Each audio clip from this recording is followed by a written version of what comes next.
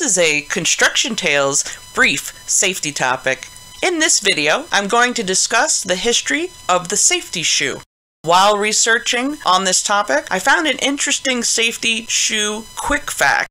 Logging boots are required by OSHA to be cut resistant under standard 29 CFR 1910.266D1V.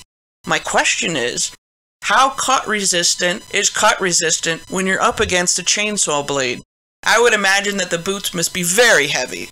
This required heavy burden must make the average logger have lean, mean legs for days after wearing heavy boots each day. I found this fact to be interesting since I come from a family of loggers who work the woods of Oregon. Now, you may ask as to why are the hardened tip safety shoes even required? The goal is to protect your toes in the event that an extremely heavy item drops on a worker's foot. The other danger is that this sheet of metal that's in your boot serves as a guillotine for all the digits upon impact on the foot. Many, many moons ago, the first protective boots were wooden boats called sabots. A sabot can be defined as a kind of simple shoe that was shaped and hollowed out from a single block of wood. This heavy footwear style was traditionally worn by French and Briton peasants. These, quote, wooden boats worked to protect workers from falling objects. I can only imagine how heavy and uncomfortable these shoes must have felt on the feet after a long day in the field. Sabots protected farmers on the field from sharp objects and protected toes in case a horse or cow stepped on them. During the early Industrial Revolution, workers used sabots to destroy machinery by throwing them into the gears of factories to stop production. The word sabotage came from this activity. The first attempt at steel toe protective technology was reported to come from Germany back in 1930. This very first boot was intended for industrial workers and ended up being geared for the military. Based upon my research, it is unclear as to exactly who actually invented the steel toe boot concept. Believe it or not, the non commissioned German soldiers had metal caps placed in their boots. During my research, I learned that the footwear company Red Wing Shoes, based in Red Wing, Minnesota, was founded by Charles H. Beckman back in 1905. Within 10 years of starting up, Red Wing Shoes was producing 200,000 pairs of boots each year. Over the years, I've owned quite a few pairs of Red Wings.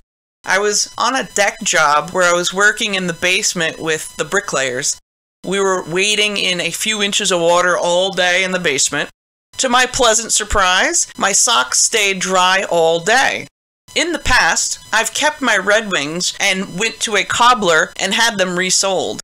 They last for a long time despite the rough conditions the boots were subjected to each day. Red Wing Shoes became the preferred manufacturer of the American soldier's boot during World War I. Red Wing Shoes was the first company to mass manufacture steel toe boots for American soldiers during World War II. Prior to World War II, it was actually cheaper to just pay off a family after a fatality and then get a new worker versus introducing any form of personal protective equipment on site, known for short as PPE. Imagine how rough it was for the families of workers who had gotten injured while at work during the Industrial Revolution with no PPE and no laws in place to protect the worker. The passing of various U.S. legislation all work to put the average company on the hook for compensation after worker accidents. Wisconsin was the first state to pass the Wisconsin Workers' Compensation Act back in 1911. By 1948, Mississippi was the last state to get on board with protecting their workers via compensation laws. Once legislation was passed and a company becomes liable, it's time to get workers' compensation insurance to offset the costs of accidents. The insurance representatives then collectively work to force the entire industry to reduce the likelihood of accidents through the introduction of safer practices and protection for workers. If a company chooses to not work safer, then it's a guarantee that company insurance premiums will soar to new heights. When it boils down to it, companies see workers as a financial liability.